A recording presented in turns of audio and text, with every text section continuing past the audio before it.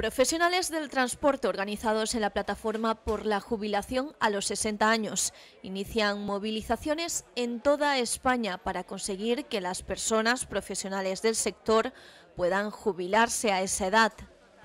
Entre otras cosas, el Consejo Sindical Obrero, que se ha reunido hoy aquí en Alicante, en frente de la subdelegación del Gobierno, considera que es el gran olvidado por el Gobierno de España y por los sindicatos mayoritarios en cuanto al debate de la jubilación anticipada.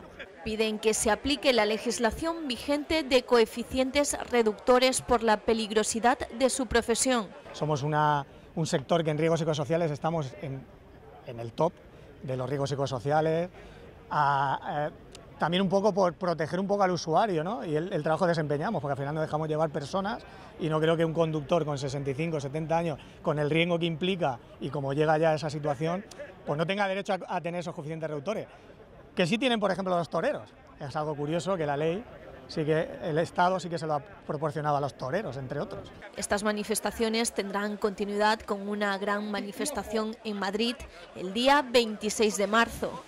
Eh, antes de la pandemia, la paralizó la pandemia, recogimos miles de firmas para entregarlas en el Parlamento, se hizo un acto, la realidad es que la pandemia lo paralizó todo, como en todos los sectores, y ahora se ha vuelto a iniciar ese proceso, pero claro, somos los grandes olvidados de, aplicar esa medida, claro, legal. Si la Administración del Estado mantiene su postura de no sentarse a hablar con la plataforma, se plantearán fechas para una futura huelga general del sector.